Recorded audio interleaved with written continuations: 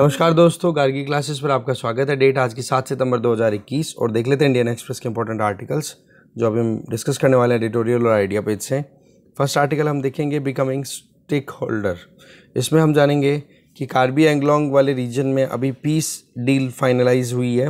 एक tripartite agreement जिसमें central government state government और कार्बी एंगलोंग वाले रीजन के अंदर जो इंसर्जेंट ग्रुप्स हैं, उनके बीच में जानेंगे इस आर्टिकल को। दूसरा हम मुद्दा देखेंगे कि पाकिस्तान के सामने क्या डिलेमा अभी फंसा पड़ा है काबुल को लेकर के। इसके लिए दो आर्टिकल्स हैं। इस दूस फ़र्स्ट आर्टिकल को डिटेल में देखेंगे दूसरे आर्टिकल से कुछ पॉइंट्स हैं वो एक, एक्सट्रैक्ट करेंगे। ठीक है? तो देखते हैं इन तीनों आर्टिकल्स को डिटेल में। फ़र्स्ट आर्टिकल है बिकमिंग स्टेक होल्डर देखो एक ट्राईपार्टाइट एग्रीमेंट अभी साइन हुआ है जिसमें सेंट्रल गवर्नमेंट और साथ में पाँच इंसर्जेंट ग्रुप्स जो कि ऑपरेट कर रहे थे कार्बी एंगलोंग रीजन ऑफ़ असम और साथ में असम गवर्नमेंट और इसमें एक ये पीस प्रोसेस है, उसको फाइनलाइज किया गया है। जिसमें मेन तो ये है कि कैसे भी करके इस वाले रीजन में कार्बी एंगलोंग वाले रीजन में इंसर्जेंसी को ख़त्म किया जाए। इसमें जो मेमोरेंडम ऑफ़ सेटलमेंट जो फाइनल जो एग्रीमेंट हुआ है, उसमें एक तो ये प्रोविज़न किया गया है कि कार्बी एंगलोंग ऑटोनॉमस काउंसिल है, उसको थोड़ी और ऑटोनॉमी दी जाएगी। पहली चीज़। दूसरी चीज़ कि जो आइडेंटिटी है, वहाँ के रहने वाले जो एथनिक ग्रुप्स हैं, उनकी आइडेंटिटी उनकी लैंग्वेज उनकी कल्चर उसको प्रिजर्व और प्रोटेक्ट करने की बात की गई है। साथ में डेवलपमेंट पे ज़्यादा फोकस किया जाएगा, जिससे कि ज़्यादा से ज़्यादा वहाँ पर प्रोग्रेसिव मैनर में आगे बढ़ा जा सके, जिससे क्या हो कि वहाँ के जो लोकल लोग हैं, उनकी वेलफेयर इंश्योर हो सके और उनकी जो डिग्निफाइड लाइफ है वो आराम से कंटिन्यू कर पाएँ। इसके अलावा ये किया गया है कि कार्बी लैंग्वेज जो है, उसको ऑफिशियल लैंग्वेज के तौर पे अभी कंसिडर किया जाएगा नोटिफाई कर दिया जाएगा, जहाँ पर भी कार्बी एंगलोंग ऑटोनमस काउंसिल जो है वो ऑपरेट करेगी। पर देखो, ये बहुत सारी चीज़ें हैं, इसमें थाउजेंड्स ऑफ़ आर्म्ड रिबेलियंस जो इंसर्जेंट्स थे, जितने भी मिलिटेंट्स थे, उन्होंने देखो अपनी आर्म्स को सरेंडर किया और पीस डील को एक्सेप्ट किया है। तो ये बातें तो बड़ी पॉजिटिव पॉजिटिव हमें लग रही है। पर सवाल ये है कि नॉर्थ ईस्ट के मैप को अगर हम एक बार इन डॉट्स को मिलाएँ ना, चाहे वो नागालैंड हो, चाहे मेघालय हो, चाहे मिज़ोरम हो, चाहे मणिपुर वाला रीजन हो, चाहे अरुणाचल प्रदेश हो, चाहे फिर असम की बात हो, इन सारों को अगर मिलाया जाए ना तो यहाँ पर छोटे और बड़े बहुत सारे इंसर्जेंट ग्रुप्स ऑपरेट हो रहे हैं और इसमें जो डिमांड है नॉर्थ ईस्ट में, वो या तो ये रहती है कि हम एक सेपरेट नेशन स्टेट बनाए, जैसे कि नागालैंड ग्रेटर नागालिम करके एक कंट्री की डिमांड की जाती है। नागालैंड में जो भी ऑपरेट हो रहे हैं ग्रुप्स ठीक है? जिनमें ये रहता है कि हम कैसे भी करके जहाँ जहाँ पर भी नागा ट्राइब्स रहती हैं, चाहे वो म्यांमार में रहती हो, अरुणाचल प्रदेश में नागालैंड खुद हो गया मणिपुर में रहती हो या फिर असम में रहती हो तो सारा मिला करके बोले एक नेशन स्टेट बना देंगे। सेम चीज़ हमने देखी थी कि स्टेट हुड की भी डिमांड कर ली जाती है, जैसे कार्बी एंगलोंग वाले हैं, ये लगातार एक ग्रुप है, एक धड़ा है, वो तो ये चाहता है कि हम कंट्री से ही सेपरेट हो जाएँ और दूसरा ये कहते हैं कि असम से हम सेपरेट स्टेट बन जाएँ इंडियन कॉन्स्टिट्यूशन के अंदर ही। तो ये अलग अलग डिमांड्स वहाँ पर चल रही हैं बिगर लेवल या फिर स्मॉलर लेवल पे। तो सवाल ये है कि इंस्पिरेशन कहाँ से आती है? इंस्पिरेशन देखो आती है कि जब कभी भी इनको अब ये शुरुआत तो देखो अंग्रेज़ों के टाइम से हो जाती है। जब इंग्लिश ने अपना वहाँ पर अपनी डोमिनेंस क्रिएट करने की कोशिश की और वहाँ के जो एथनिक लोग हैं ट्राइबल लोग हैं, और उन लोगों को परेशान करना शुरू कर दिया और नॉर्थ ईस्ट के नेचुरल रिसोर्सेज को एक्सप्लॉइट करना शुरू किया तो इन ट्राइबल ग्रुप्स के दिमाग में ये आने लग गया था कि जी, ये अंग्रेज़ लोग हैं, ये हमारे साथ में बुरा कर रहे हैं, हमें कैसे भी करके प्रोटेक्शन लेनी है, हमें खुद को डिफेंड करना है। ठीक है, पर उसके बाद में कुछ ऐसे भी सिनेरियो निकल के आते हैं, जैसे त्रिपुरा का केस ले लो। वहाँ के जो राजा थे, उन्होंने फिर बाद में अंग्रेज़ों के साथ में ट्रीटी भी की थी। वो चीज़ें आगे कंटिन्यू होती रही, पर फिर भी ये लगातार जो डिमांड थी ना कि एक हमें सेपरेशन चाहिए। इसीलिए तो हमारे कॉन्स्टिट्यूशन में schedule six and schedule fifth added add की हुई है कि कैसे भी करके जो लोकल एथनिक एथनिक ग्रुप्स हैं, जो नॉर्थ ईस्टर्न रीजन में हैं या फिर जो भी ट्राइबल लोग हैं, उनकी कल्चर को हम बिल्कुल भी ख़त्म नहीं करेंगे। पर उसके बावजूद भी वो और ज़्यादा ऑटोनॉमी चाहते हैं तो ऐसे में इंसर्जेंसी नॉर्मल है नॉर्थ ईस्ट में। अब होता क्या है कि जो एलिनेशन है, वो वो बहुत ज़्यादा देखने को मिलता है। एक तरीके से अलगाववाद जिसको कि वो अपने आप को इंडिया की मेन स्ट्रीम के साथ में कनेक्टेड फील नहीं करते हैं तो इस सिचुएशन में वो दूर जाने की कोशिश करते हैं। फिर वो डिपेंड किस पे करते हैं? एक्सप्लोइटेशन पे और साथ में एक्सटोर्शन पे। कि कैसे भी करके अपनी खुद की जो काम है उसको कंटिन्यू करें, खुद की रेलेवेंस को बनाए रखने के लिए, वहाँ के लोगों को परेशान ना करके जो सरकारी जो भी काम होता है ना वहाँ पर, उनके अगेंस्ट में काम करना शुरू कर देते हैं। और मेन जो लीडर है वो आपको पता ही है N S C N I M ये तो नागालैंड में ऑपरेट करता है, और उल्फ़ा असम। तो उल्फ़ा जो है वो असम की डिमांड लगातार करता आ रहा है, पर उल्फा को तो देखो मोर और लेस बहुत हद तक कंटेन करने में सक्सेसफुल रही है गवर्नमेंट पर दूसरी तरफ़ अब देखी जाए ना तो जो दूसरे इश्यूज़ है, जैसे कार्बी एंगलोंग वाला ही आ गया तो ये ethnicity linguistic and cultural identity को बिल्कुल भी लूज नहीं करना चाहते हैं। ठीक है तो उस केस में इन्होंने भी हथियार उठा लिए, और यहाँ पर भी बहुत सारी ट्राइब्स रहती है कार्बी एंगलोंग वाले रीजन में, ब्रह्मपुत्रा प्लेन प्लेन वाले रीजन में। तो यहाँ पर अब इनको आइडेंटिफिकेशन देना। अब देखो यहाँ पर हमारे जो शेड्यूल सिक्स है उसके तहत हमारे कॉन्स्टिट्यूशन में नॉर्थ ईस्ट में ATM machine that means Assam, Tripura, Meghalaya, Mizoram, इनके अलग अलग रीजन्स को ऑटोनॉमी दे रखी है कि जी आपको यहाँ पर एक्सक्लूसिव राइट्स दिए हुए हैं, बस थोड़े बहुत कुछ राइट्स हैं, जहाँ पर गवर्नमेंट अपना खुद का रोल प्ले करती है, बाकी वहाँ के जो लोकल्स हैं, वो अपने हिसाब से रिजीम को कंटिन्यू करेंगे। पर बात यह आ जाती है कि अब जो सिक्स शेड्यूल है उसके अंदर भी वो लोग ये चाहते हैं कि हमें और ज़्यादा ऑटोनॉमी दी जाए। तो ये कार्बी, एंगलोंग और दीमा हसाओ वाला जो रीजन है असम में, इन लोगों को किस बेसिस पे पैसिफाई किया गया है? कि जी आपको शेड्यूल फिफ्थ के अंदर शेड्यूल सिक्स के अलावा, ये ध्यान रखना आप, असम के अंदर नॉर्थ ईस्ट में, असम के अंदर ये कार्बी, एंगलोंग रीजन पहला होगा, दिमा हसाओ एंड कार्बी, एंगलोंग, जहाँ पे फिफ्थ शेड्यूल के तहत ऑटोनॉमी दी जाएगी रीजनल इश्यूज़ को टैकल करने के लिए ट्राइबल ट्राइबल कम्युनिटी को। ठीक है, ये ज़रूर आप ध्यान रखें, क्योंकि ये इसमें दिया हुआ नहीं है, ये न्यूज़ में था। तो सेंट्रल गवर्नमेंट का एक अप्रोच रहता है नॉर्थ ईस्ट में इंसर्जेंसी को रोकने का, या जो भी इंटरनल सिक्योरिटी से रिलेटेड इशू हैं उनसे। तो वहाँ पर एक डबल बैरल अप्रोच रहती है। डबल बैरल का मतलब हो गया कि एक इस तरीके से दो अप्रोच रहती है। एक तो होता है कैरेट कैरेट का मतलब होता है कि आप कॉन्स्टिट्यूशन के अंडर में ऑटोनॉमी दे दो। और दूसरी तरफ़ होती है आपकी स्टिक कि कहीं पर भी अगर उन ऑटोनॉमी को लेने के बावजूद कोई भी एथनिक ग्रुप वहाँ पर मिलिटेंसी को कंटिन्यू करता है और इंटरनल सिक्योरिटी को कहीं ना कहीं थ्रेटन करता है तो उसको मिलिटेंसी को क्रश करने के लिए सिक्योरिटी फोर्सेज का यूज़ करना। तो ये दोनों चीज़ें जो यूज़ की जाती है ना गवर्नमेंट के द्वारा, ये मोर और लेस हर एक स्टेट में सक्सेसफुल रही है, चाहे मिजोरम की बात करो, त्रिपुरा की बात करो, या बोडो एरिया जहाँ पर असम के अंदर पहले 1985 में, जो आप देख सकते हो कि बहुत सारा असम अकॉर्ड फिर फाइनलाइज हुआ था, और बॉर्डरलैंड की डिमांड भी यहाँ पर होती रहती है। तो पॉइंट यहाँ पर ही आ जाता है कि गवर्नमेंट की जो डबल स्टैंडर्ड या डबल बैरल्ड अप्रोच है ना वो सॉवरेनिटी को जब जब भी थ्रेटन करने की कोशिश की जाती है नॉर्थ ईस्ट में इंसर्जेंसी ग्रुप्स के द्वारा तो उसको कंट्रोल करने के लिए यूज़ किया जाता है कि पहले तो राज़ी कर दो उनको ऑटोनॉमी दे करके, और नहीं माने तो फिर हमारे पास में सिक्योरिटी फोर्सेज है। अब देखो सिक्योरिटी फोर्सेज को दिया जाता है। अफसवा जो एक्ट है, उसके तहत उनको ऑटोनॉमी दी जाती है, उनको थोड़ी पावर दी जाती है। वो बात अलग है कि ये जो आर्म्ड फोर्सेज का जो एक्ट है अफसवा इसका यूज़ बहुत गलत तरीके से भी किया जाता है कई बार, और उसके चलते कई केसेस भी फंसे पड़े हैं अभी तक। पर वही चीज़ है कि डबल बैरल्ड अप्रोच कहीं ना कहीं काम करती है। अब देखो, ये सिक्स शेड्यूल में सेटिस्फाई ना होकर के डिमांड करने लग जाते हैं। आर्टिकल 244 ए इसके तहत कि हमें एक ऑटोनॉमस स्टेट बना दिया जाए, चाहे इंडियन कॉन्स्टिट्यूशन के तहत ही बना दे। तो कार्बी एंगलोंग वाला मुद्दा है, वो उससे नाइनटीन से चल रहा है, आप ये मान के चलो। ठीक है तो देखो ऑटोनॉमी देना फंड्स प्रोवाइड करना ये देखो, इतना नहीं है कि जी बिल्कुल उनको सेटिस्फाई कर दे। ठीक है सफिशिएंट कंसिडर नहीं किया जा सकता। पर ठीक है, फिर भी आप सीज फायर एग्रीमेंट्स कर लेते हो सेटलमेंट कर देते हो, वो सारा हो जाता है। पर ऑटोनॉमी के बावजूद भी अगर वो लोग इंसल इंसल इंसर्जेंसी को कंटिन्यू करते हैं मिलिटेंसी को कंटिन्यू करते हैं तो वहाँ पर और भी हमें बेसिक चीज़ों को समझना ज़रूरी है। तो देखो इंसर्जेंट्स को आपने यहाँ पर कार्बी एंग्लोंग का मुद्दा है, बाकी और भी बहुत सारे मुद्दे हैं जहाँ पर जो भी मिलिटेंट्स हैं या इंसर्जेंट्स हैं, उनको आपने कन्विंस किया एग्रीमेंट के बेसिस पे और उन्हीं को स्टेक होल्डर बना दिया कि आप अपने कानून खुद बनाओ, अपने हिसाब से। पर सवाल ये है ना कि अब क्या यहाँ पर डेमोक्रेसी इतना इजीली अचीव हो पाएगी क्या? जितना इजीली यहाँ पर ट्रांजिशन की इनकी बात कर दी। क्योंकि अभी तक तो नॉर्थ ईस्ट का रिकॉर्ड क्या है कि थोड़े दिनों के अंदर उनको जब पता पड़ता है कि जी, हमें तो ऑटोनॉमी और चाहिए, थोड़ी बहुत और अवेयरनेस आती है। तो आज का एग्रीमेंट हो सकता है पाँच साल बाद में ख़त्म हो जाए और इंसर्जेंसी फिर से रीस्टार्ट हो जाए। तो वो वाली चीज़ें फंसी पड़ी रहती है। तो ये इंटरनल सिक्योरिटी का मुद्दा है। आगे चलते हैं। नेक्स्ट आर्टिकल है पाकिस्तान काबुल सिंड्रोम देखो आर्टिकल को लिखा है सी राजा मोहन ने। देखो, तीन सेट अभी ऐसे कुछ इंपॉर्टेंट तीन इवेंट्स हुए हैं थ्री सेट्स ऑफ़ इवेंट्स इसमें मेन चीज़ है कि पाकिस्तान की कितनी ज़्यादा इंपॉर्टेंस बन रही है अफ़गानिस्तान में और क्या कितनी इंपॉर्टेंस रही हुई है, उसका पास्ट भी जानेंगे। नंबर वन तो क्या हो गया कि लेफ़्ट जैसे तालिबान ने विक्ट्री अभी अचीव की है तो उसमें पीछे बैकिंग किसकी थी? पाकिस्तान की नो डाउट ठीक है? इसके अलावा जो तीन इंपॉर्टेंट इवेंट्स अभी हुए हैं, उनमें से सबसे पहला तो क्या है कि आईएसआई के जो चीफ हैं लेफ्टिनेंट जनरल फैज़ हमीद, वो पहुँच जाते हैं कहाँ पे? काबुल में और ओपनली और उनका टारगेट ये रहता है कि कैसे भी करके अफ़गानिस्तान में नया जो रिजीम आए, वहाँ पर ऐसे लोगों को इंस्टॉल किया जाए जिससे कि पाकिस्तान का खुद का इंटरेस्ट कंटिन्यू रहे।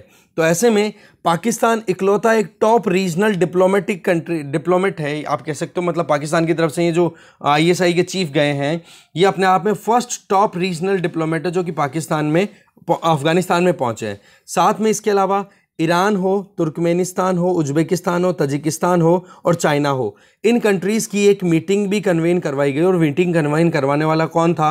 पाकिस्तान। तो एक तो हो गया यहाँ पर आईएसआई के लीडर का जाना दूसरा पाकिस्तान की लीडरशिप में ये मीटिंग का ऑर्गेनाइज होना।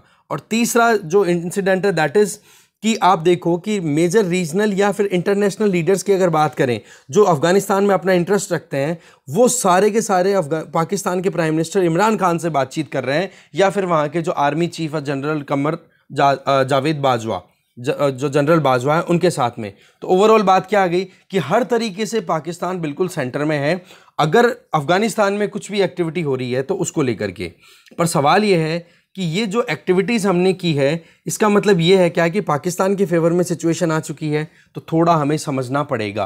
क्योंकि ये जो मोमेंट अभी बना हुआ है ना, ये अनकंट्रोल्ड फ्रेंजीड मैनर में आगे बढ़ रहा है। दैट मीन्स पाकिस्तान जो है, वो जो चाहता है उसको नेगेटिव पर्सपेक्टिव में तो कंटिन्यू करता करता है और सक्सेसफुल हो पाता है। बट जब पॉजिटिविटी की बात आती है तो वहाँ पर पाकिस्तान फेल हो जाता है। इसका मतलब हो गया कि सरकारों को डिस्टेबलाइज करने में तो पाकिस्तान बहुत माहिर है। अफ़गानिस्तान में सरकार एक भी स्टेबल नहीं हो पाई है। पर सरकार जब स्थायित्व की बात आ जाए तो उसको बनने में पाकिस्तान बिल्कुल भी सपोर्ट नहीं करता है। और यही सबसे बड़ी समस्या है पाकिस्तान के लिए भी और यही समस्या है अफ़गानिस्तान के लिए भी। देखो ज्योग्राफी ने तो हमें पता ही है कि जी, पाकिस्तान की बहुत बड़ी बॉर्डर शेयर होती है, जिसको डूरेंट लाइन बोलते हैं।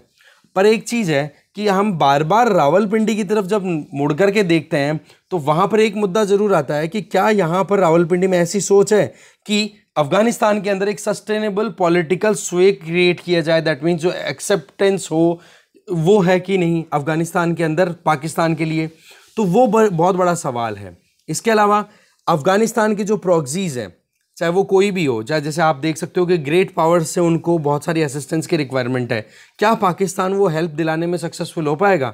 जैसे आज अफ़गानिस्तान के सामने सबसे बड़ा चैलेंज क्या है? तालिबान अगर रिजीम टेक ओवर कर भी चुका है तो सबसे बड़ा चैलेंज है फाइनेंस की प्रॉब्लम पैसा कहाँ से आएगा? अब पैसा दिलाने के लिए पाकिस्तान वहाँ पर क्या रोल प्ले कर सकता है? जो खुद फाइनेंशियल एक्शन टास्क फोर्स की ग्रे लिस्ट में पड़ा है। है कि नहीं? तो ये अपने आप में पाकिस्तान की रेलेवेंस को एक स्टेबल गवर्नमेंट को प्रोवाइड करने में अपने आप में बहुत बड़ा सवाल क्रिएट करता है। अब आप देखो कि वर्ल्ड जो है वो पाकिस्तान की तरफ़ जा रहा है। पाकिस्तान की तरफ़ फोकस इसलिए कर रहा है क्योंकि पाकिस्तान एक इंटर सीट की तरह काम कर रहा है। दैट मीन्स एक इंटरमीडिएट या आप कह सकते हो मीडिएशन का काम कर रहा है, जिसमें एक तरफ़ तो अफ़गानिस्तान का नया रूल होगा और दूसरी तरफ़ वर्ल्ड कम्युनिटी होगी। पर पाकिस्तान की खुद की जो इमेज है, वो भी तो एक इम्पैक्ट डालेगी ही ना, क्योंकि पाकिस्तान में जो कोई भी एक्टिविटीज़ होती हैं, वो पूरे जग ज़ाहिर हो अच्छे से हो चुकी है। इसके अलावा पाकिस्तान के लिए एक चैलेंज बहुत बड़ा है, वहाँ के सिटीजन्स का इवैक्यूएशन क्योंकि अभी पाकिस्तान से बातचीत हो रही क्यों? क्योंकि पकड़ है तालिबान के ऊपर, या फिर वहाँ पर जो भी रिजीम चेंज हो रहा है, उसके अंदर जो भी की प्लेयर्स हैं, उनको इंस्टॉल करने में पाकिस्तान बिल्कुल भी पीछे नहीं हट रहा है। तो उस केस में क्या हो जाता है कि जब इंटरनेशनल कम्युनिटी अपने लोगों को वहाँ से निकालना चाहे इंडिया हो इंडिया तो खैर इतना ज़्यादा एंगेज नहीं है। इंडिया वहाँ पर तालिबान के साथ ही एंगेज करना ज़्यादा पसंद कर रहा है। पर हाँ फिर भी पाकिस्तान के साथ मोर और लेस एंगेजमेंट हमारी भी है। अंडरग्राउंड क्योंकि सीज फायर एग्रीमेंट तो पहले फरवरी में हो चुका था तो उसके बाद में इतने बुरे रिश्ते भी नहीं अभी। पर हाँ जो अमेरिका हो गया या फिर और दूसरे यूरोपियन यूनियन के कंट्रीज़ हैं, वो जैसे ही अपने ट्रूप्स को या अपने सिटीजन्स को वहाँ से विड्रॉ करेंगे इवैक्यूएट करेंगे तो पाकिस्तान का सपोर्ट लेना ज़रूरी है। इसके अलावा पाकिस्तान में रिफ्यूजी क्राइसिस भी कम नहीं होने वाला है और रही सही में टेररिज्म के नाम के ऊपर पाकिस्तान के काला टीका पहले से लगा हुआ है। तो पाकिस्तान एक अपने आप में one stop shop one stop solution के तौर पे अभी इमर्ज होकर के आ रहा है। तो पाकिस्तान की एबिलिटी क्या है कि जी अभी जो भी डायनामिक्स अभी चल रही है अफ़गानिस्तान में उसको कितना कंट्रोल कर पाती है? तो सवाल ये है कि ये इतना आसान भी नहीं है कि जितना आसानी से पाकिस्तान ने वहाँ पर तालिबान रिजीम को इंस्टॉल किया है, क्या उतनी ही पकड़ पाकिस्तान की अफ़गानिस्तान पे बनी रहेगी? ये गैप है ना, जहाँ पर एक तरफ़ पाकिस्तान की पहुँच और दूसरी तरफ़ पाकिस्तान की पकड़। रीच एंड ग्रास्प दोनों के अंदर जो गैप है, ये इम्पॉसिबल है कि पाकिस्तान कभी कवर अप भी कर पाएगा। क्योंकि पिछले पचास सालों का अगर देखा जाए ना ट्रैक रिकॉर्ड तो उसमें पाकिस्तान इस चीज़ में जूझता ही मिला इसीलिए वो क्या बोल दिया इसको? सिंड्रोम डिलेमा, ट्रिलेमा कुछ ही मानो फंसा पड़ा है पाकिस्तान। अब इंटरनेशनल मीडिया के अटेंशन की बात करें तो हमीद आईएसआई के जो चीफ है, उनकी विज़िट काबुल में हुई। अब इसमें आप देखो कि इंटेलिजेंस चीफ है, वो गए क्यों हैं? इसका मतलब ये नहीं है कि केवल पाकिस्तान अपनी पकड़ को बनाने के लिए गया है, या फिर ये कहें कि ये इंटरनेशनल चीफ वहाँ पर पहले गए मतलब पहले इंटरनेशनल इंटेलिजेंस चीफ गए हैं जो कि वहाँ पर अपनी आ, अपने कह सकते हैं ना अपनी सेटिंग को सेट करने गए हों। इसके पहले CIA अमेरिका की जो इंटेलिजेंस एजेंसी है ठीक है सेंट्रल इन्वेस्टिगेशन एजेंसी उन उनके भी इसके भी लीडर डायरेक्टर विलियम बर्न्स भी गए थे और उनका टारगेट ये उन्होंने बात की थी तालिबान के लीडर से उनका टारगेट ये था कि कैसे भी करके अमेरिकन को ईजीली इवैक्यूएट किया जा सके। पर यहाँ पर अफ़गानिस्तान के जो पाकिस्तान के जो आईएसआई के चीफ हैं उनका उनका जाना इसलिए है कि अब कैसे भी करके अफ़गानिस्तान के नए रिजिम में अपने लार्जर स्टेक्स को कवर अप करे। और जिसमें मेन बात आ जाती है हक्कानी नेटवर्क कि हक्कानी नेटवर्क ने तालिबान को इंस्टॉल करने में बड़ी हेल्प की है अफ़गानिस्तान में अभी। और हक्कानी नेटवर्क और तालिबान जो अभी करंटली रिजीम चल रहा है, बोलो दोनों के लड़ाकों को तैयार करना, ये दोनों ऑपरेट हो रहे थे अफ़गानिस्तान पाकिस्तान की ज़मीन से पिछले 20 सालों में, जब तक यूएसए के ट्रूप्स वहाँ पर अवेलेबल थे। तो ऐसी सिचुएशन में, अब अगर तालिबान वहाँ पर अपनी पकड़ बना लेता है हंड्रेड परसेंट पर? पाकिस्तान में। तो उस केस में पाकिस्तान इस चीज़ से भी खुश नहीं है, क्योंकि तालिबान अगर अपनी ऑटोनॉमी मेंटेन करना शुरू कर देगा तो पाकिस्तान फिर बाद में ये सोचेगा कि जी मैंने तो मेरे मेरे पिट्ठू को वहाँ पे, या आप कह सकते हैं कि मेरे पपेट्स को मैंने वहाँ पर इंस्टॉल किया था और वो फिर बाद में हमें ही आँखें दिखा रहे हैं राइट right. तो ऐसे में हक्कानी नेटवर्क को वहाँ पर रिप्रेजेंटेशन दिलाने के पॉइंट ऑफ़ व्यू से ये आईएसआई के रीज जो चीफ हैं, इनका विज़िट होता है अब सवाल ये आ जाता है कि अफ़गानिस्तान में पिछले दो दशकों के अंदर जो कुछ भी हो रहा था, उसमें एक तरफ़ तो तालिबान जो कि अपनी आप, अपनी सेंचुरीज में ऑपरेट कर रहा था या फिर अपनी जो स्ट्रेंथ है उसको कंटिन्यू बढ़ाया चला जा रहा था। जैसे कि जो विलेज एरिया रूरल एरियाज़ है, जबकि दूसरी तरफ़ सिटीज़ में जैसे काबुल की अगर बात करें तो वहाँ पर थी रिपब्लिक गवर्नमेंट अशरफ गनी की और ये जो हामिद करजई की सरकारें चल रही थी वो। उसको सपोर्ट मिल रहा था अमेरिका का या फिर नेटो फोर्सेस का। तो ओवरऑल बात क्या हो जाती है कि पाकिस्तान भी इनडायरेक्टली अपने स्टेक्स को बिल्कुल लूज नहीं कर रहा था। अब बात यह है कि पाकिस्तान का क्या ये सिनेरियो अभी का है या पहले से भी है? जी हाल बहुत बुरा है, पहले से ही है। अभी तालिबान के फैक्शन में भी तालिबान ने टेक ओवर कर लिया है, पर तालिबान भी बहुत सारे धड़ों में, बहुत सारे ग्रुप्स में टूटा हुआ, बहुत सारे फैक्शंस में डिवाइडेड है। बट वही है कि अब पावर शेयरिंग कैसे होगी, उसको सस्टेनेबल कैसे बनाया जाए, ये अपने आप में बहुत बड़ा चैलेंज है। इसी चैलेंज को टैकल करने के लिए आईएसआई के विज़िट आईएसआई के चीफ की विज़िट हुई है। तो सवाल क्या है कि पाकिस्तान है ना अफ़गानिस्तान को डिस्टेबलाइज करने में जितना सक्सेसफुल रहा ना, उतना ही ज़्यादा फेल हुआ अफ़गानिस्तान में पॉलिटिकल ऑर्डर को स्टेबलाइज करने में। ये अपने आप में एक सिंड्रोम दिखाता है, उलझन दिखाता है पाकिस्तान की। अब ये जो स्टेबलाइज्ड गवर्नमेंट को इंस्टॉल करने की बात हम कर रहे हैं तो इसके पीछे क्या है? सबसे बड़ी बात तो ये कि पाकिस्तान खुद अपने नेशनल इश्यूज़ को टैकल नहीं कर पा रहा है, और उसके पीछे अफ़गानिस्तान ही है। ये टेररिस्ट एक्टिविटीज़ ही प्रमोट करना है। रिलीजन के नाम के ऊपर अपनी पकड़ बनाने का ही तरीका है ये पाकिस्तान का। ठीक है? और ये कोई पहली बार नहीं है कि पाकिस्तान इस तरीके से इंटरवेंशन करे और पाकिस्तान को जीत ना मिले।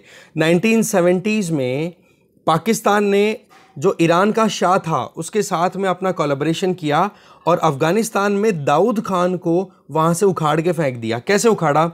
सबसे पहले तो जो कम्युनिस्ट फ्रेंड थे ना, दाऊद के, दाऊद खान के उनको इन दाऊद खान और कम्युनिस्ट के बीच में एक गैप ला दिया, दोनों को लड़ा दिया। मतलब अंदर ही अंदर आप कह सकते हो कि एक गैप क्रिएट कर दिया अफ़गानिस्तान की लोकल पॉलिटिक्स में, जिसमें मेन रोल किसका था?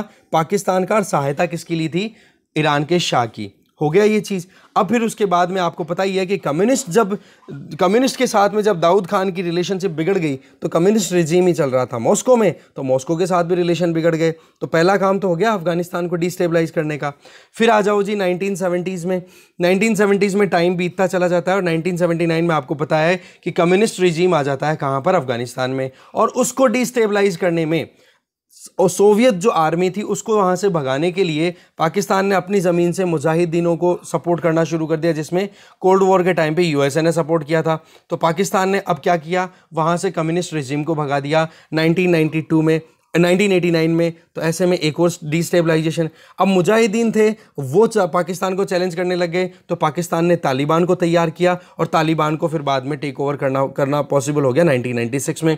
अब 1996 में तालिबान का इंस्टॉलेशन हुआ चलो जी, पाकिस्तान, अब अब यूँ लगा कि थोड़ा सा स्टेबिलिटी आएगी, पर वही चीज़ है कि 9/11 अटैक हुआ, ओसामा बिन लादेन ने, जो अपनी अफ़गानिस्तान की सेंचुरी से ऑपरेट कर रहा था, अलकायदा का जो लीडर था, और उसकी वजह से फिर बाद में अमेरिका का इंटरवेंशन होता है अफ़गानिस्तान में, और उस अमेरिकन इंटरवेंशन को फिर पाकिस्तान को मजबूरन सपोर्ट करना पड़ता है।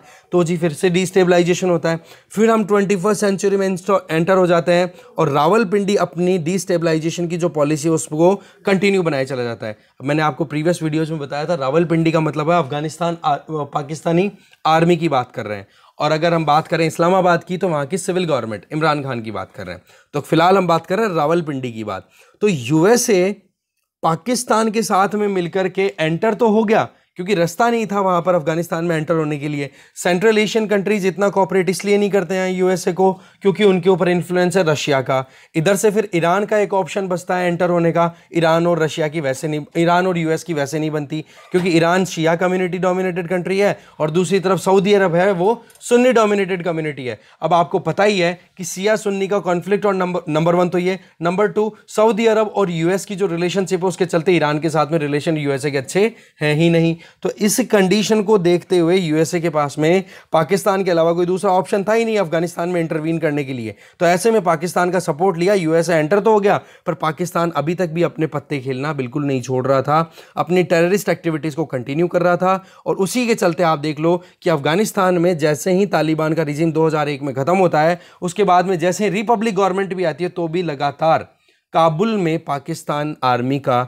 एक ड्राइवर सीट पे बैठे रहना कोई भी मना नहीं कर पाया। इवन यूएसए को पता था कि तालिबान, ये पाकिस्तान जो है वो लगातार अपने कोशिशें कर रहा है कि अफ़गानिस्तान में डिस्टेबलाइजेशन लाया जाए, पर फिर भी पाकिस्तान के सपोर्ट के बिना कोई ऑप्शन था नहीं। ये तो डोनाल्ड ट्रंप ने ओपनली कहा कि पाकिस्तान जो है वो है मेन मेन जो जड़ है इस पूरी प्रॉब्लम की, बोलो पाकिस्तान है।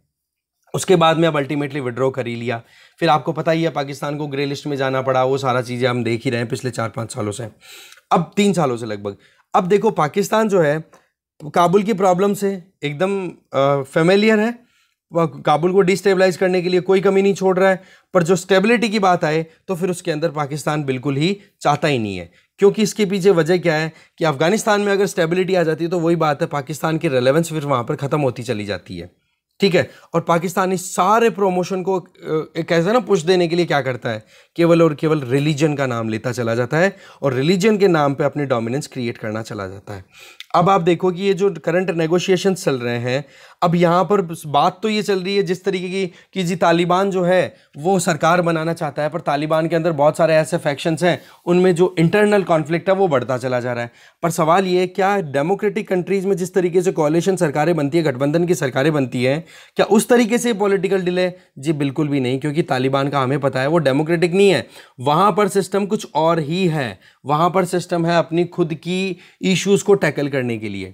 तो पॉइंट क्या आ रहा है कि इतना आसान नहीं अफ़गानिस्तान में सरकार बनाना। और अगर अफ़गानिस्तान में सरकार नहीं बनती है तो फिर सबसे बड़ी जो बॉर्डर शेयर करता है ना अफ़गानिस्तान के साथ में, वो कंट्री पाकिस्तान ही है। पाकिस्तान को देखो, इसके रेपोकशंस झेलने पड़ेंगे। अब इसके अलावा बहुत सारे मुद्दे ऐसे भी है, जैसे वेमेंस राइट अब उन अधिकारों को कौन प्रोवाइड करेगा? इसके अलावा पॉलिटिकल क्राइम्स को अगर आप मना करो, जैसे कि अभी मान लो कि अभी करंटली कौन? एमनेस्टी का मतलब है पॉलिटिकल क्राइम्स को आप फॉरगिव करो, माफ़ कर दो। तो अभी जो प्रीवियस गवर्नमेंट जो गई है अशरफ गनी की, उस सरकार ने बिल्कुल भी तालिबान को एक्सेप्ट नहीं किया था। तो उस टाइम पर जो अफ़गानिस्तान की मिलिट्री थी ठीक है, अफ़गानिस्तान के जो डिफेंस पर्सनल्स थे, उन्होंने जिस तरीके की एक्टिविटीज़ परफॉर्म की, क्या उनके लिए उनको सजा दी जाएगी अभी? तो वो भी एक अपने आप में बड़ा सवाल है। एथनिसिटी और रिलीजन रिलीजियस माइनॉरिटीज़ अब बहुत सारी तो मल्टी एथनिक कंट्री है अफ़गानिस्तान। रिलीजन की बात भी करो तो वहाँ पर माइनॉरिटीज़ में हिंदूज़ भी हैं सिख्स भी हैं, इसके अलावा जो शिया कम्युनिटी के लोग हैं, वो भी हैं क्रिश्चियंस भी हैं। तो ओवरऑल देखा जाए तो वहाँ पर इन सारी डाइवर्सिफाइड मैनर में रहने वाले लोगों को क्या सही से मैनेज करना पॉसिबल हो पाएगा? और इंटरनेशनल कंसर्न भी यही है कि अफ़गानिस्तान के अंदर तालिबान रिजीम भी आ रहा है ना, वो खुद बहुत ज़्यादा डिवाइडेड है। इसके अलावा, आप देख सकते हो यहाँ पर फाइनेंस के हाल कितने बुरे हैं, वो हमें भी पता है। और इंटरनेशनल कम्युनिटी जब तक अफ़गानिस्तान में तालिबान रिजीम को रिकॉग्नाइज नहीं करेगी, तब तक फिर बाद में सपोर्ट कैसे करेगा? चलो मान लेते हैं कि पाकिस्तान ने अपनी तरफ़ से काम तो बहुत ही इंप्रेसिव किया है। पर सवाल यह है ना कि अफ़गानिस्तान में जो कुछ भी अभी चल रहा है, उसमें क्या पाकिस्तान सक्सेसफुल हो पाएगा? क्योंकि पैसे की शॉर्टेज तो पाकिस्तान खुद फेस कर रहा है। क्या वहाँ पर अफ़गानिस्तान की शॉर्टेज पूरी कर पाएगा? इसके अलावा अफ़गानिस्तान के अंदर जो कोई भी अभी एंटिटीज़ इमर्ज होकर के आ रही है, देखो 1973 में जब मोनार्की थी ना उस टाइम पर अफ़गानिस्तान के हाल ठीक थे, पर जब से ये मोनार्की डिस्टेबलाइज हुई है, इसको हटा दिया गया है, तब से लेकर अब तक अफ़गानिस्तान में चाहे इस्लामिक मूवमेंट हो, चाहे कम्युनिस्ट रिजीम हो, चाहे सोशलिस्टिक पैटर्न पे काम कर रही हो, किसी भी तरीके से काम करो, हर एक केस के अंदर foreign military intervention back to back होता रहा है और पाकिस्तान भी इस कंट्री को डिस्टेबलाइज होने में पूरा रोल प्ले करता रहा है। अब बात यह है कि अभी करंटली अफ़गानिस्तान अफ़गानिस्तान में पाकिस्तान को रोल जो भी प्ले करना है, उसमें केवल और केवल एक सपोर्ट दिख रहा है दैट इज़ चाइनीज़ सपोर्ट अब सवाल यह है कि क्या चाइना का सपोर्ट पाकिस्तान के लिए कोई मिरेकल करेगा? जी पॉलिटिकल मिरेकल बहुत रेयर होते हैं, बहुत कम देखने को मिलते हैं। अब चाइना भी वहाँ पर पैसा अगर इन्वेस्ट करेगा तो उसकी पहले ये देखेगा कि कहीं तालिबान के लड़ाकों के चक्कर में मेरे सिंजियान प्रोविंस में तो कोई प्रॉब्लम नहीं कर देंगे ये लोग। ठीक है? तो वो चीज़ बहुत बड़ा सवाल है। ऐसे में ये अपने आप में एक टेम्पटिंग इशू है कि हाँ हम अट्रैक्टेड तो फील करेंगे इस मुद्दे पर पर पाकिस्तान चाहे विक्टर हो इस केस के अंदर बट ऑपोजिशन की अगर इसी सिचुएशन के जस्ट ऑपोजिट देखी जाए तो अफ़गानिस्तान में जो कुछ भी इंस्टेबिलिटी है, उसके पीछे पाकिस्तान के अलावा और कोई रास्ता दिख भी नहीं रहा है। अब बात ही आ जाती है कि रिलीजन के नाम पे आपने तालिबान को तैयार किया। तालिबान अब बोलता अपने आप को मॉडरेटली ऑपरेट होने के लिए कि जी हम वुमेन राइट और ये सारे जो तालिबान का पहला प्रीवियस रिजीम था उस तरीके से नहीं करेंगे। क्योंकि तालिबान अगर यहाँ पे ह्यूमन राइट्स और वुमेन राइट्स को या बच्चों के अधिकारों के बारे में नहीं सोचेगा ना तो उस केस में फिर इंटरनेशनल कम्युनिटी रिकोगनीशन नहीं देगी तो फिर बाद में फंड्स की शॉर्टेज आएगी। तो तालिबान खुद मजबूर है ये चीज़ मानने के लिए कि जी चलो ठीक है कि हम हमारी अप्रोच में मॉडरेट रहेंगे। पर उसका देखो दूसरी तरफ़ वही बात है जी, आप अपने बैकयार्ड में वही सांप को पाल रहे हो तो डेफिनेटली वो आपको भी खाएगा ही एक ना एक दिन तो काटेगा ही। तो उसी तरीके से पाकिस्तान ने तालिबान को रिलीजन के नाम पे तैयार तो कर दिया, अब वो तालिबान को तो अपनी तरफ़ से ऑपरेट करना है जो करेगा, अफ़गानिस्तान की फेट है वो तो पर सवाल ये है कि पाकिस्तान खुद इसी चीज़ को लेकर के बर्बाद हो गया है, क्योंकि तालिबान का जो प्री मॉडर्न आइडियोलॉजी का इशू है ना, उसकी शेडोज़ पाकिस्तान में भी देखने को मिल रही है और अब करंट रिजीम में यही हो रहा है। ठीक है, कि जो मेडिवल पीरियड की जो सोच थी ना, वो सोच अभी पाकिस्तान में प्रिवेल कर रही है ट्वेंटी फ़र्स्ट सेंचुरी में। तो वो तो बर्बादी की तरफ़ चलते जाएँगे। आज टाइम देखो कि आप अफ़गानिस्तान जो कि नेबर है पाकिस्तान को, उसको डिस्टेबलाइज करने में पाकिस्तान कोई कसर नहीं छोड़ रहा है। आज इंडिया से, आज बांग्लादेश जो है ना इकोनॉमिकली पाकिस्तान को बहुत पीछे छोड़ चुका है। कि 1971 में बांग्लादेश लिबरेट हुआ था। दूसरी तरफ़ इंडिया और पाकिस्तान दोनों साथ में इंडिपेंडेंट हुए थे। आज इंडिया दस गुना बड़ी इकोनॉमी है पाकिस्तान के कंपैरिजन में। रावलपिंडी की जो विक्ट्री है ना अफ़गानिस्तान के ऊपर, ये तो देखो एक तरीके से वो ये है कि आपने उपद्रव तो बहुत फैलाया है न्यूसेंस तो बहुत ज़्यादा फैलाई है बट रिज़ल्ट ये है कि पाकिस्तान को खुद को इसके नुकसान बहुत सारे झेलने पड़ेंगे और पाकिस्तान इसी चीज़ को झेलता आ रहा है और आगे भी यही बनता रहेगा जब तक पाकिस्तान के अंदर ये क्लैरिटी नहीं आएगी कि जी हमें पीसफुल को एग्जिस्टेंस को कंटिन्यू करना है कि नहीं। है कि नहीं? आगे चलते हैं। नेक्स्ट आर्टिकल वही अफ़गानिस्तान वाला मुद्दा ही है, पर थोड़े से पर्सपेक्टिव थोड़े से डिफरेंट मिलेंगे। नंबर वन पॉइंट तो ये आ रहा है यहाँ पर कि हमीद की जो विज़िट है अफ़गानिस्तान की सॉइल पे तो आप देखते हैं क्या होता है। Hemmed in on all sides कि किस तरीके से अभी अफ़गानिस्तान पे एक प्रेशर बन रहा है। तालिबान पे प्रेशर बनने के चांसेस हैं। ठीक है? अभी आपको पता ही है लीडरशिप का तो सारा मुद्दा। अभी यहाँ पर जो पॉइंट्स हैं ना डिफरेंट पॉइंट्स वो बड़े इंपॉर्टेंट हैं। सबसे पहला पॉइंट तो ये कि काबुल में जो रिजीम आ गया अभी, उस पर चार दिशाओं से बड़ी चिंता की बात आ रही है। फोर डायरेक्शन प्रेशर पहला तो पाकिस्तान की तरफ़ से सिक्योरिटी को और ये जो पास्ट के लिंक है उनको, जो हमने प्रीवियसली देखा अच्छे से। दूसरा, चाइना का प्रेशर रहेगा। कि चाइना इन्वेस्टमेंट तो करने के लिए रेडी है, पर स्टेबिलिटी चाहिए। तीसरा, रशिया का। रशिया भी बिल्कुल पीछे नहीं अपनी इंटेलिजेंस के बेसिस पे अपनी पकड़ बनाए रखा है। यूएस और यूरोपियन यूनियन की रिलायबिलिटी तब बन जाती है रिलेशन या फिर जो डिपेंडेंसी है काबुल रिजीम की इन यूएस और यूरोपियन यूनियन के ऊपर, वो है फाइनेंशियल ग्लोबली सपोर्ट देने के लिए। तो फाइनेंस के तरीके से इनमें पॉइंट ऑफ़ व्यू से देखा जाए तो काबुल के ऊपर ये चार डायरेक्शनल फोर डायरेक्शनल रिलेशन एक तरीके से आप देख सकते हो प्रेशर है। अफ़गानिस्तान का जो सिस्टम है सारा का सारा, वो बहुत ही ज़्यादा डिसेंट्रलाइज्ड है। जैसा कि हमने देखा, तालिबान, उसने लीड तो कर लिया, पर तालिबान में खुद में कितने ज़्यादा फैक्शंस है, कितनी ज़्यादा ग्रुप्स में डिवाइडेड है। एक तरफ़ तो तालिबान जो है वह वेमेन राइट को प्रमोट करने की बात करता है, और एक फैक्शन है कि जी मेडिएवल आइडियोलॉजी के ऊपर ही हमें कंटिन्यू करना है रिजीम को। तो एक पॉइंट आ गया। अब बात आ जाती है कि पाकिस्तान को हम यहाँ पर विक्टर के तौर पे परसीव तो कर रहे हैं, समझ रहे हैं कि हाँ जी, बहुत ही बढ़िया है। और पाकिस्तान की इंटेलिजेंस एजेंसी के जो चीफ हैं, वो जाते भी हैं। वो किस लिए जाते हैं? हक्कानी नेटवर्क की रेलेवेंस को कंटिन्यू करने के लिए। कैसे भी करके हक्कानी नेटवर्क के लीडर्स की प्रेजेंस इंश्योर हो जाए तालिबान के नए रिजीम के अंदर। पर बात यह आ जाती है कि हक्कानी नेटवर्क को आप इंट्रोड्यूस कर रहे हो। करने की कोशिश कर रहे हो। तालिबान जो कि मल्टीपल फैक्शंस का ग्रुप है, उसको आपने टेक ऑलरेडी रिजीम वहाँ पर कंटिन्यू कर दिया है।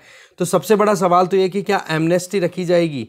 जो अफ़गानिस्तान की नेशनल डिफेंस सिक्योरिटी फोर्सेज हैं, उनको क्या आप डिसबैंड करोगे, बिल्कुल ख़त्म करोगे या उसको कंटिन्यू करोगे? क्योंकि एक तरफ़ तालिबान अपने तालिब्स को रिक्रूट करता है, जो कि रिलीजियस आइडियोलॉजी के बेसिस के ऊपर अपनी रिक्रूटमेंट देते हैं कि हाँ जी, इस्लामिज्म को हमें बढ़ाना है। दूसरी तरफ़ ए एन जो अफ़गानिस्तान की सिक्योरिटी फोर्सेज हैं, वो डेमोक्रेटिक प्रिंसिपल्स पे काम करती हैं। तो यहाँ पर एक ऐसा सिनेरियो निकल के आ रहा है कि कहीं सद्दाम हुसैन की जिस तरीके से आर्मी का कोलेप्स किया गया था ना जब इराक में अटैक किया था यूएसए ने, उसके बाद में तो बोला ऐसे में तो बहुत ज़्यादा मुश्किलें पैदा होती चली जाएँगी कि एक तरफ़ तो आप वहाँ के लोगों को पैसिफाई करके रिजीम को कंटिन्यू करना चाहते हो और दूसरी वहीं पर उन लोगों को प्रोटेक्ट करने वाली जो आर्मी है या मिलिट्री फोर्सेज हैं, आप कहाँ की? अफ़गानिस्तान की, उसको आप डिसबैन कर रहे हो तो इंस्टेबिलिटी बनती चली जाएगी। अच्छा फिर बात आ जाती है कि फ़ूड फ्यूल और पावर तीन चीज़ों की ज़रूरत होती है एक कंट्री को कंटिन्यू करने के लिए। ठीक है, पाकिस्तान और ईरान अपनी तरफ़ से कुछ करने की कोशिश करेंगे, पर सवाल यह है कि आज पाकिस्तान की खुद की हालत पतली है। हमें पता है आईएमएफ की आईएमएफ बिल्कुल भी सपोर्ट नहीं कर रहा है। और आईएमएफ बात कर सपोर्ट देने के लिए बोलता है तो पहले बोलता है फाइनेंशियल एक्शन टास्क फोर्स की जो भी प्रॉब्लम है, उससे बाहर निकलो और कम से कम आप 27 बिलियन फॉरेन एक्सचेंज रिज़र्व है, उसको तो कम से कम मैनेज करो। अभी तक 27 बिलियन का ही हुआ है। Foreign exchange reserve. जबकि इंडिया का हमें पता है 630 बिलियन डॉलर से भी ज़्यादा का हमारा फॉरेन एक्सचेंज रिज़र्व है। तो बोले, इसको आप एक्यूमुलेट करो, पर फाइनेंशियल एक्शन टास्क फोर्स की ग्रे लिस्ट में तो पाकिस्तान क्या कर लेगा? तो पाकिस्तान के लिए सिचुएशन क्या है? क्लासिक कैच ट्वेंटी कि हर एक चीज़ में उसकी खुद की डिफीट है, वो कोशिश तो करता है जीतने की, पर वो वहीं पर उलझा चला जाता है। वही है, दलदल में फंस गया, हाथ मारो, जितना हाथ मारेगा उतना गहराई में चला जाएगा। अब सवाल यह आ जाता है कि पाकिस्तान के लिए एक और चिंता की बात क्या है? कि पाकिस्तान इधर है, इधर अफ़गानिस्तान है, इधर इंडिया है। तो इंडिया भी तो अपनी तरफ़ से पत्ते कुछ ना कुछ तो खेलेगा ही ना, कुछ ना कुछ ना कुछ तो कोशिशें करेगा ही। और उसमें इंडिया की तरफ़ से सपोर्ट दिया जाता है अफ़गानिस्तान के लोगों को और पर्टिकुलरली पश्तून्स को, पठानों को। खान अब्दुल गफ्फार खान, जो कि फ्रंटियर गांधी थे, उनका इंडिया को हमेशा से फेवर रहा है। पार्टीशन के टाइम पे भी उन्होंने कहा था, बोले, इंडिया का पार्टीशन नहीं होना चाहिए। वो बात अलग ही, मजबूरन फिर उनको करवाना पड़ा, फिर क्या कर सकते हैं? जब लाइन ही रेड क्लिफ ड्रॉ कर दी गई थी तो। पर उसके बावजूद भी अभी तक खान अब्दुल गफ्फार खान की जो फैमिली है, वो कोलकाता में रह रही है और वो लगातार डिमांड कर रही है कि इंडिया से इंडिया की सरकार से, कि कैसे भी करके इंटरनेशनल कम्युनिटी से, कैसे भी करके पठान कम्युनिटी को आप प्रोटेक्ट करो, जो बिल्कुल इनोसेंट और जो कि बिल्कुल एक इंडिपेंडेंट कंट्री में अपने तरीके से रहने की कोशिशें कर रहे हैं या वो चाहते हैं इस तरीके से। तो वहाँ, यहाँ पर एक तरफ़ तो अफ़गानिस्तान तो चिंता है ही पाकिस्तान के लिए, पर दूसरी तरफ़ इंडिया भी कोई कसर नहीं छोड़ेगा जब भी मौका मिलेगा। इंडिया एक बेलिजरेंट है। बेलिजरेंट का मतलब एक तरीके से आप कह सकते हो कि हॉस्टाइल नेबर है, क्योंकि पाकिस्तान हमारे लिए जब इतना अच्छा कोई कोई रिज़ल्ट नहीं देता है, जब भी कोई बातचीत होती है तो हम क्यों उसके साथ में अच्छा बिहेव करें? जब मौका मिल रहा है तो हम भी तो अपनी तरफ़ से पूरी कोशिशें करेंगे ना। क्योंकि देखो, हम पीसफुल को एग्जिस्टेंस को इंश्योर करना चाहते हैं और उसमें अगर हमारा दुश्मन हमारे साथ में पीसफुल को एग्जिस्टेंस नहीं चाहता है तो हमें डेटरेंस क्रिएट करनी पड़ती है। और डेटरेंस के लिए क्या करना पड़ेगा कि आप अपने दुश्मन के दुश्मन को दोस्त बना लो। सबसे बेस्ट ये रहता है। है कि नहीं? अब दुश्मन का दुश्मन कौन है? हमारा दुश्मन पाकिस्तान। और पाकिस्तान के दुश्मन अफ़गानिस्तान में कौन बैठे हैं? पश्तून्स। तो पश्तून्स को अगर वहाँ पर पश्तून पश्तूनिस्तान करके, कंट्री की डिमांड की बात करके और उनको प्रमोशन लगातार मिले तो फिर कहाँ पर इंडिया पीछे रहने वाला है? है कि नहीं? आज अमेरिकन कंट्रोल है। वो तो डाउन हुआ है नो डाउट पर फिर भी रेमिटेंसेज आएँगी वहाँ से अफ़गानिस्तान से। फॉरेन एक्सचेंज रिज़र्व अफ़गानिस्तान का खुद का अगर कम रहेगा तो क्या तालिबान रिजीम कंटिन्यू कर पाएगा? यूनाइटेड नेशन की बात करो या यूनाइटेड स्टेट्स की बात करो, जो ट्रेजरी सैंक्शंस अगर तालिबान पे लगा दिए गए हैं तो उसकी वजह से तालिबान का रिजीम वैसे प्रॉब्लम में आ जाएगा। अच्छा इसके अलावा पाकिस्तान के लिए और अफ़गानिस्तान के लिए क्या चिंता की बात है? कि अगर रशिया वहाँ पर इन्वेस्ट करना शुरू कर देता है तो यूएसए काटसा एक्ट का यूज़ करके बोल देगा कि जी, ना तो हम पाकिस्तान की हेल्प करेंगे, ना अफ़गानिस्तान की हेल्प करेंगे, क्योंकि आप रशिया से हेल्प करते हो रशिया से अपनी एंगेजमेंट करते हो, क्योंकि काटसा एक्ट आपको पता है ना काउंटर एडवर्सरी एक्ट जिसमें इंडिया के लिए भी चिंता हुई थी जब डोनाल्ड ट्रंप आए थे उस टाइम पे प्रेसिडेंट होके। राइट? तो अब अब देखो कि रशिया का इन्वेस्टमेंट अगर अफ़गानिस्तान में होता है तो वैसे चिंता की बात है। पाकिस्तान के लिए भी चिंता है। और रही सही में फाइनेंशियल एक्शन टास्क फोर्स में पाकिस्तान को क्यों डाला हुआ है? क्योंकि टेरर एक्टिविटीज़ को अपनी ज़मीन से ऑपरेट होना अलाउ करता है पाकिस्तान। और वही चीज़ अगर अफ़गानिस्तान भी कंटिन्यू करेगा तो अफ़गानिस्तान को भी फिर बाद में ब्लैक लिस्ट या ग्रे लिस्ट में डाल के रखा जाएगा। तो कहाँ पर फिर सपोर्ट मिलेगा अफ़गानिस्तान को? अच्छा चाइना अगर बेल्ट एंड रोड इनिशिएटिव को अगर वहाँ पर कंटिन्यू करता है तो जी, बात ऐसी है, चाइना तभी पैसा लगाएगा अपना, जब ये लगेगा कि वहाँ पर स्टेबिलिटी आ रही है थोड़ी। रिस्क नहीं ले सकता चाइना। अभी जो एंगेजमेंट है वो केवल और केवल एक पॉइंट है डोमेस्टिक इश्यूज़ को अपने को टैकल करना। और दूसरी चीज़, अफ़गानिस्तान में अगर रिजीम सही आता है तो बेल्ट एंड रोड इनिशिएटिव को फिर बाद में एक्सपेंड करना। पर वही चीज़ है, पाकिस्तान खुद ग्रे लिस्ट में है। विश्वास तो कर रहे हैं, एक दूसरे के ऊपर। बाकी सिचुएशन बताएगी आगे क्या होता है। अब अफ़गानिस्तान का जो उलझन है, वो कुछ ऐसी है कि अफ़गानिस्तान में आर्मी के, आर्मी कॉलेज जो है वो बार बार एक ही चीज़ समझती आई है कि अगर हमारे यहाँ पर टू फ्रंट वॉर अगर शुरू हो गया ना तो फिर इंडिया हमें बिल्कुल भी नहीं छोड़ेगा। क्योंकि ईस्ट में इंडिया है और आपको पता है कि अफ़गानिस्तान में जो अब इंडिया इंस्पायर्ड लोग हैं, जिसमें पश्तून्स मेनली हैं, उनको प्रमोट अगर कर दिया तो। एक तरफ़ डोरंड लाइन जैसे ही बात आती है, अफ़गानिस्तान में अभी तालिबान रिजीम आया। तो पाकिस्तान ने क्या बोलना शुरू कर दिया कि हम डूरंड लाइन पे फेंसिंग कर देंगे जिससे कि रिफ्यूजीज़ हमारे यहाँ पर एंटर ना हो सके। तो अगर डूरंड लाइन की फेंसिंग की जाती है तो तालिबान के स्पोक्स पर्सन ने खुद ने स्टेटमेंट दे दी है कि डूरंड लाइन है, वो अंग्रेज़ों की डाली हुई है और हम पठान कम्युनिटी को बिल्कुल डिवाइडेड नहीं देखना चाहते। चाहे वो पाकिस्तान में रहते हो, चाहे अफ़गानिस्तान में रहते हो तो पाकिस्तान के लिए एक और सरदर्दी बहुत बड़ी है कि हार्ड बॉर्डर आप क्रिएट करना चाहते हो, पर तालिबान बिल्कुल भी एक्सेप्ट नहीं करेगा। ठीक है, इसके अलावा ईस्टर्न पार्ट पे आपको पता ही है कि इंडिया पश्तून सेपरेटिज्म को लगातार प्रमोट करेगा, पाकिस्तान के अंदर भी और अफ़गानिस्तान में भी। तो अब तालिबान भी बहुत सोच समझ करके ट्रीट करेगा, आगे कंटिन्यू करेगा। ऐसा नहीं कोई भी जल्दबाजी कर दे और प्रॉब्लम होने लग जाए। हक्कानी नेटवर्क जी हक्कानी नेटवर्क को तालिबान तालिबान को सपोर्ट करने के लिए पाकिस्तान ने तैयार किया, ये हमने बात की। अब हक्कानी नेटवर्क का अगर वहाँ पर इंस्टॉलेशन नहीं होता है, तालिबान के रिजीम के साथ में अफ़गानिस्तान में तो फिर पाकिस्तान को परेशान करना शुरू कर देगा ये हक्कानी नेटवर्क वो खुद ही खुद के लिए समस्या खड़ी कर देगा। ठीक है? तो ऐसे में बहुत बड़ी मुश्किलें हो रही हैं डिलेमा है। और आपको पता ही है आई जो खुरासन प्रोविंस में, अफ़गानिस्तान में जो ऑपरेट हो रहा है, उसको भी पाकिस्तान ने कम सपोर्ट नहीं किया है। पर बात यह है कि अगर ये लगातार चलता रहा ना तो अफ़गानिस्तान तो डिस्टेबलाइज हो ही गया। पर पाकिस्तान जो खुद अपने अंदर के घावों से परेशान है, वो और ज़्यादा परेशान होगा। और जो मेन जो है ना, इसमें सिराजुद्दीन हक्कानी है, वो परेशान कर सकता है तालिबान रिजीम को भी। और तालिबान रिजीम में अगर रोल नहीं आता है सिराजुद्दीन हक्कानी का तो पाकिस्तान भी दूर नहीं होगा। पाकिस्तान में भी इंटरनल इश्यूज़ बहुत ज़्यादा होने वाले हैं। ठीक है? तो ये प्रॉब्लम है पाकिस्तान के लिए, खुद के लिए। दोनों आर्टिकल्स में हमने देखा कि पाकिस्तान को विक्टर तो कंसिडर कर दिया, पर पाकिस्तान डिस्टेबलाइज करने में सक्सेसफुल है। स्टेबिलिटी लाने में सबसे फेल कंट्री है। खुद का स्टेबिलिटी नहीं आ रही अभी तक इंटरनली कभी आर्मी टेक ओवर करती है, कभी क्या कभी क्या। नाम रिलीजन का लिया जा रहा है सिर्फ़ और सिर्फ़। ठीक है? इस डिस्कशन में इतना ही था। और एक आर्टिकल और उस पर और नज़र डाल लेते हैं थोड़ी।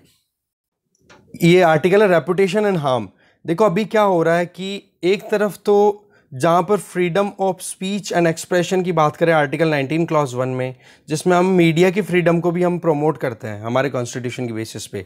तो एक तरफ़ तो मीडिया की प्रमोशन इसलिए चाहिए कि प्रेस फ्रीडम अगर मिलती है तो जो भी गड़बड़ हो रही है सिस्टम में, या जो कमियाँ है हमारे रिजीम की या सरकार की तो वो कमियाँ उजागर की जा सके एक्सपोज की जा सके।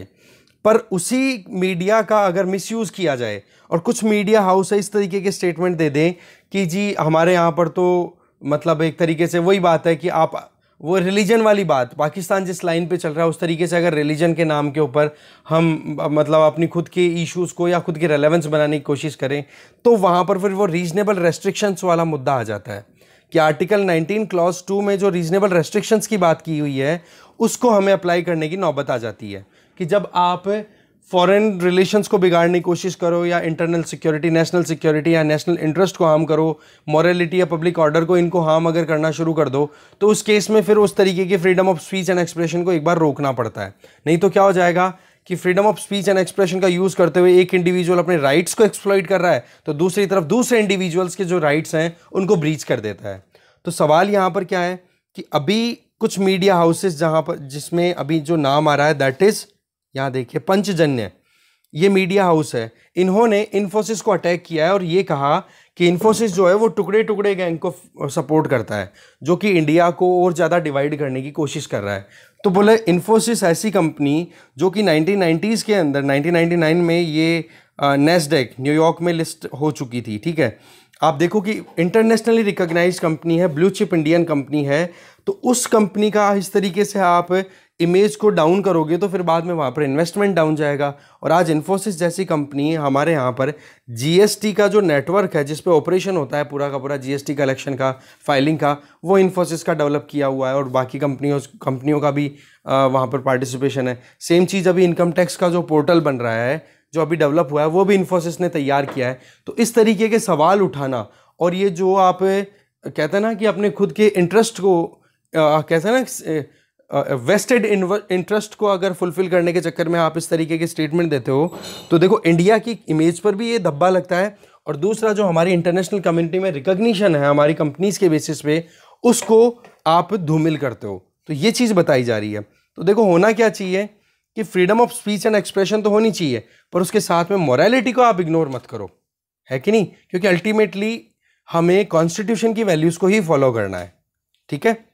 तो ये चीज़ें बताई जा रही है मेन मेन तो। डिस्कशन में इतना ही है। Thank you very much